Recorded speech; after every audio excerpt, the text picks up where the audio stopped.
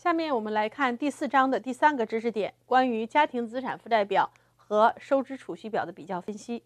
那么我们这一节的学习呢，是建立在前面的啊已经会编制了家庭资产负债表和会编制我们的家庭储蓄的一个这个这个收支表啊这个前提下呢，我们来进行。那么在编制两期以上的资产负债表之后呢，我们可以进行水平和垂直的资产负债的这个比较。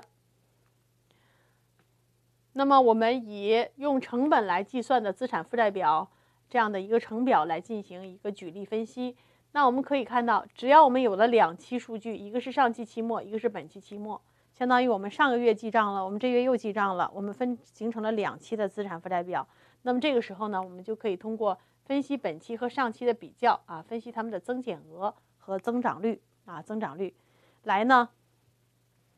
看一下我们。另外呢，这个是增长增长额和增长率呢，是这种横向的比较。我们还可以从这个啊比率分析的角度啊比率分析的角度来进行结构的分析。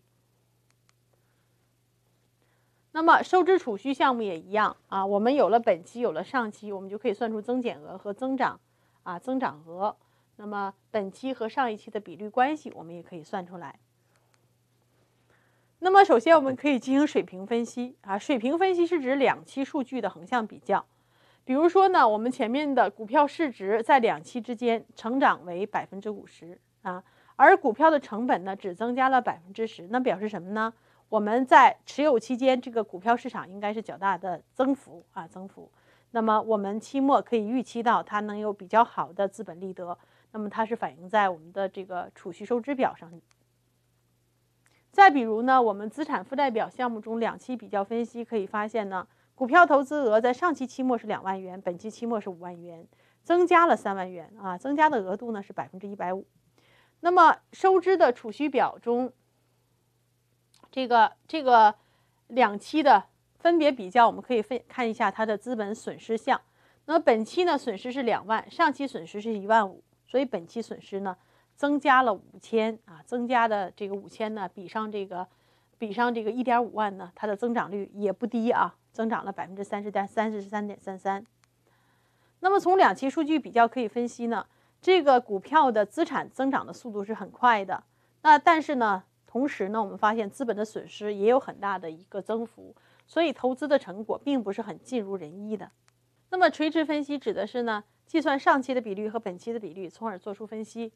像我们上一期的股票市值呢，占总资产的市值的百分之三十，而本期呢占到了百分之四十，说明什么呢？说明我们在投入成本不变的情况下，那么本期内就是你本期持有期内呢，你的股票的价值在上涨啊，价值在上涨。所以呢，呃，我们说以呢实现资本利得来计呢，以资本利得来计价的这个股票的比重呢在增加，提高了整个资产的这样的一个比重啊。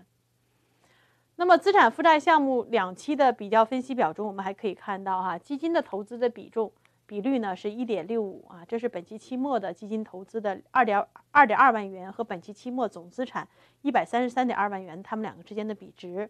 那么比上一期呢零点七八啊有一些增加。那么金融投资的这个借款项本期的比率呢是二点二五，而上期的比率呢为零，说明我们。这个金融为了我们金融投资而导致的借款啊增加了，那么这些垂直分析和这个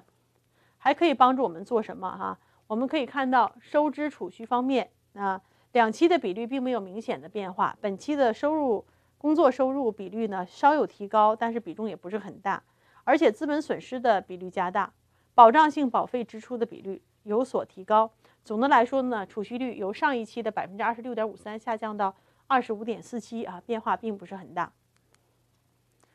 那么通过这个资产负债表啊这样的两期比较和收支储蓄表的这样的两期的比较分析，可以发现我们这个家庭财务的这个变动的情况以及它未来的变动的一个趋势。那么这个趋势呢，我们在分析的时候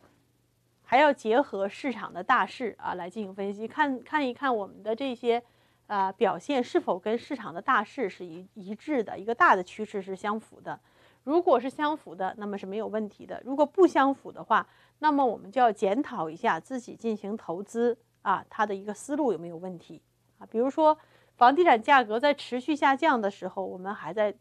追投啊，我们还进行这个投资性房地产的这个追加，那有没有道理？而且在短期内呢，它的获利能力是怎么样的哈？我们要进行进一步的分析。那么我们来看一下负债表、资产负债表和收支储蓄表啊，它们两个之间的关系。那么我们知道呢？流动性资产加上投资性资产，再加上自用资产等于总资产啊，总资产的额度。那总资产呢，我们可以分成两部分，一部分呢，它的来源来源于负债啊，那么负债呢是由消费性、投资性和自用性负债三部分组成的。另一部分呢，就是我们通过前期积累和本期增加的净值的部分啊，本期增加的净值部分。那么这个净值部分又来源于什么呢？前期积累不用说了哈，以前年度或以前期各期增加的这部分的净值。那么本期增加的净值，其实它就和我们的这个收支储蓄表有关系啊，因为收支储蓄表中呢，我们有收入啊，有支出。那么有收入呢，有支出，那么剩余这部分呢，就是我们的净值储蓄啊。那么这个储蓄额啊，就是。加入到我们本期的资产负债表中的本期增加的净值这一部分，啊，那么也就是说呢，我们的储蓄来源于本期增加的净值，而储蓄是用来干嘛的呢？我们积累存款、投资置产、偿还负债本金等等很多的这个资金来源啊，资金来源所在。所以，资产负债表和我们的收支储蓄表之间存在着一个勾稽关系，在哪儿勾稽呢？就是在净值这部分啊产生勾稽关系。好，那么我们家庭资产负债表和这个储蓄的表之间的关系就是这样。那么我们要进行，呃，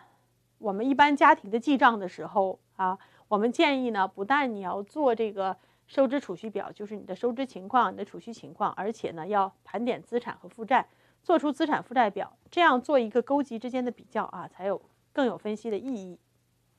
那么。如果是以市值计价的资产负债表的话，那么我们知道当期增加的净值呢，一方面来源于当期的储蓄，另一方面还可能来源于什么呢？就是我们原来啊，我们家庭资产的一个增加额啊，家庭资产的账面的一个变动额。比如说，我原来我的资产里边啊，有房屋啊，有这个汽车，有这个呃股票投资，有银行存款。那股票投资我当期增加了十万块钱。那么会导致我当期啊，当期的这个增加的净值部分，既包括当期的储蓄，又包括我资产增值的这一部分。所以呢，啊，我们这个如果是按照这个未实现的损益啊，会出现资产负债表上这种情况呢，我们其中有可能产生两个这样的表，一个是呢。和收支储蓄表对照的一个表，还有一个呢是显示当前家庭的真实财富的一个增值情况的这样的表。那这两种表下面算出来的这个结果啊，肯定是不一样的哈。如果有现金盘点的程序的话啊，如果每期期末我们都会进行一次现金的重新盘点的话，那么应该以两期啊净值之间的差异为准啊，就是我这个这个月和上一个月啊我的这个。净值就资产负债表里边的净值差异是多少？和我的现金盘点相结合来调整收支储蓄中的这个储蓄的数字。那么这个差异额呢，可能如果很小的话，我们这就直接列列到其他收入和其他支出中；如果大的话，我们就要检查是不是在我们记账过程中有错账的情况。我们下面举一个例子哈，某一个客户两期的资产负债表和收支储蓄表的相关的变化是这样的：这个是本期期末的情况，这个是上期期末的情况。我们可以看到呢，上期期末的时候啊，它的净值它的净值呢是七十七万一千，本期呢是八十一万两千啊，八十一万两千。那么这个收支储蓄表的这个情况呢，我们可以看到当期的这个储蓄呢是四万一，那这时候我们就要考虑考虑了，这个四万一呢，我们正常是按照资产负债表，它最终将进入到我们的这个。呃，资产负债表的这个项目，那么七十七万一再加上七十七万一再加上这个四万一，看看等不等于那个八十一万二啊？我们算完之后发现正好等于，也就是说两期的净值啊，两期的净值，如果算完之后它的它俩的差异额正好等于我们收支储蓄表最后算完的当期的储蓄额的话，那就说明我们的收支储蓄表和前面的我们资产负债表啊相关项目是做平了啊，是做平了，这里边就没有任何问题。好，那么本部分的基本知识呢到此结束。